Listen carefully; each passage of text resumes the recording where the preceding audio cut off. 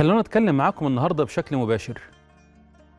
والكلام اللي هقوله ده يخص كل بيت. يسروا ولا تعسروا. وفي الجواز بالذات بلاش تقطموا ظهر العيلتين. عيلة الزوج والزوجة.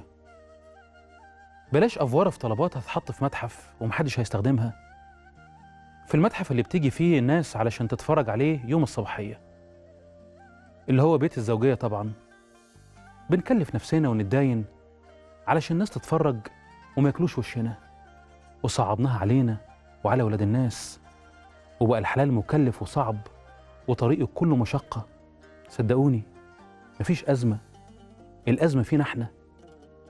في المشي ورا عاهات وتقاليد خلت الناس تروح للحرام مع إن الحلال سهل. أنت متخيل إن واحد مثلا أو واحدة مثلا معاها عشر قروش؟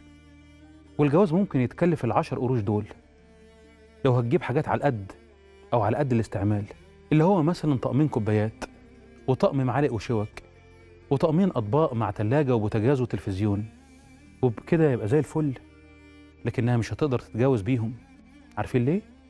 علشان المجتمع قال لها لازم تجيب دباديب وورد وألف دستة شوك وميكروويف وتكييف ومش عارف كام فوطة على كام بطانية وأربع شاشات على كام طقم صيني وبلاستيكات وشوية حاجات ملهاش أي لازمة لأنها طبعا مش أقل من بنت عمتها أو خالتها والراجل برضه كذلك. نفس الوضع. يا جماعة بالله عليكم هاتوا الحاجة اللي على القد واطلبوا طلبات معقولة بلاش منظر كدابة سهلوا الحلال وخلوا الناس تتجوز. بلاش تضغطوا على نفسكم وتضغطوا على ابن الحلال اللي جاي علشان يتقدم لبنتكم. أنتوا عارفين إن الضغط ده هينعكس جوه حياتهم بالعصبية والخناقات واحيانا بالسجن عند بعض الناس. طب وليه؟ ما من البداية بإيدينا نحل بإيدينا نجيب الضروري واللي على قد فلوسنا وهيتجوزوا برضه وهيعيشوا مبسوطين وبعدين هم يزودوا اللي هم عايزينه واحدة واحدة بس يتحطوا الأول على أول الطريق. يا جماعة بلاش تقعوا في الفخ وخليكوا لينين في طلباتكم. ما تبقاش أنت متجوز في أوضة وصالة بالإيجار وتطلب من اللي متقدم لبنتك شقة تمليك أربع أوض وصالة.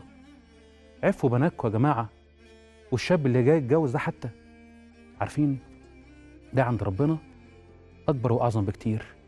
من نيش مقفول عليه باب حتى لو متكلف مئة ألف جنيه. بعد الفاصل استنونا.